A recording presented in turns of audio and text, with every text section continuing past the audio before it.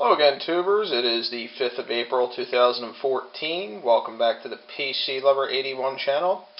Uh, now, as you know, this Dell Optiplex 380 machine, which we have here, got the side cover off of it. Um, this particular upgrade series is going to be about doing this sort of thing on a budget. Um, this is not a gaming channel for people that want to build gaming computers, though we will do that and tackle that stuff from time to time. But, uh, you know, we, we want to try and accommodate everybody here, and, you know, not everybody needs to have the most powerful processor in the world or, you know, have a, a machine that can have 100 frames per second playing a latest video game and so on and so forth, blah, blah, blah, blah, blah. So, um, what we're going to do here, we are going to do a CPU upgrade in this machine today. And I also have that leftover Dell specific uh, ATI Radeon, I believe it was a 6670. I'm going to put that in there just to get started with. Um, we'll see how things are after I get it up and running and uh, get a solid state drive or a hybrid drive in here and get an operating system on it and everything. Uh, it does have a Windows 7 Pro COA, so uh, I forgot to mention that in the last video. So uh, I'll just get my Dell disk out and put Windows 7 Pro 64-bit on it, and then uh, we'll go from there. But those uh, that's stuff to talk about and check out in future videos. Uh, but for tonight's video, we're just going to do a processor and just a cheap video card. And you come back to the next scene, we'll be putting the processor in.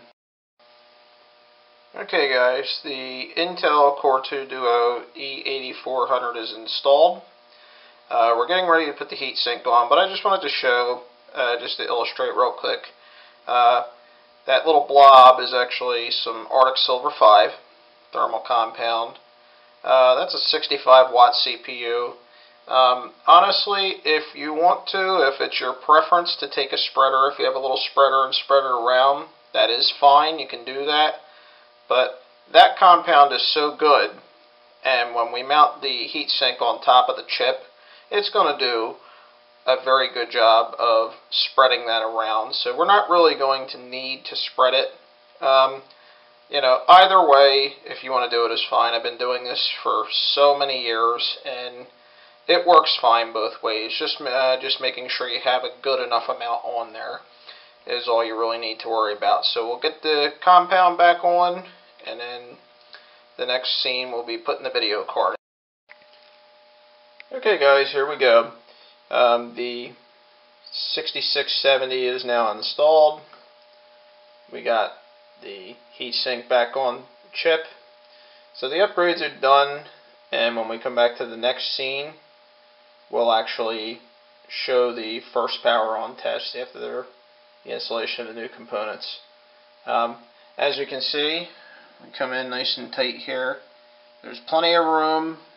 It's a single lane video card.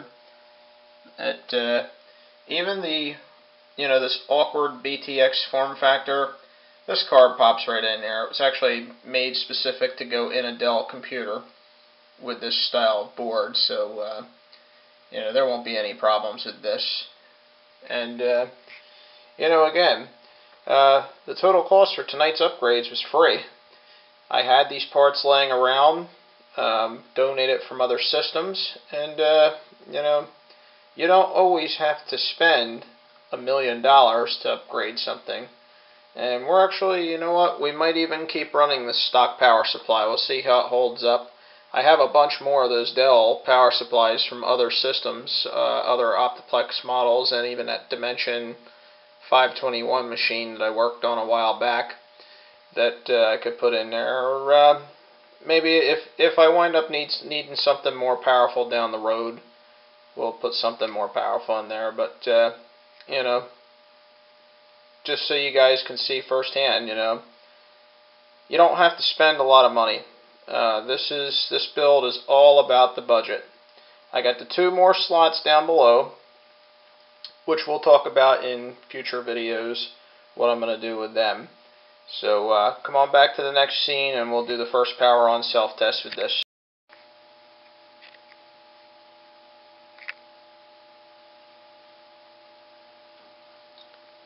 Okay guys, now we're in the BIOS on this uh, Dell Optiplex 380.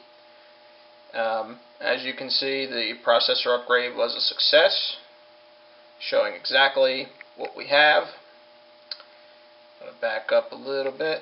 As you can see down here in the slot information, slot 1, we have a VGA compatible multimedia, which means, obviously, that the video card works in this particular system which, of course, because we have a picture on the screen, we also know that it works too. But, uh, you know, just to show you guys, um, you know, I'm uh, pretty happy with this little machine so far.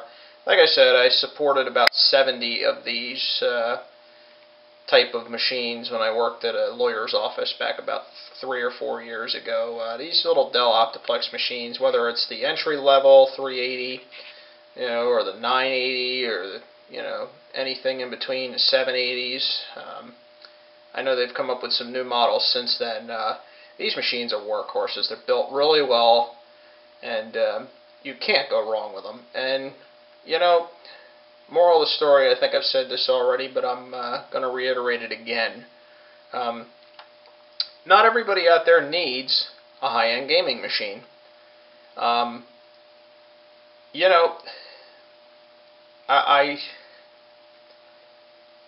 I, I must emphasize this channel is not dedicated to gaming machines. I put a video card in a lot of the systems I do simply because I don't want to share the RAM.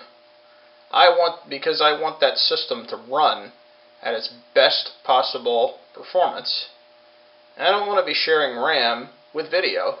So, you know, you probably won't see me doing a whole lot of those, a whole lot of videos on those newer systems with, from AMD with those uh, APU chips. Just because I, I don't, I don't like integrating the video into the chip. I don't like sharing the RAM. I like having an actual adapter tape card. You know, there's nothing wrong with it, and like I say, it works really well on this system. So, the next video we do will be further upgrades. I haven't decided what they're going to be yet. Might even donate some parts from another system, but uh, we got to see what's what. We'll take a look at the budget and see how things are going. So, I thank you guys for watching. Stay tuned for more exciting videos to come.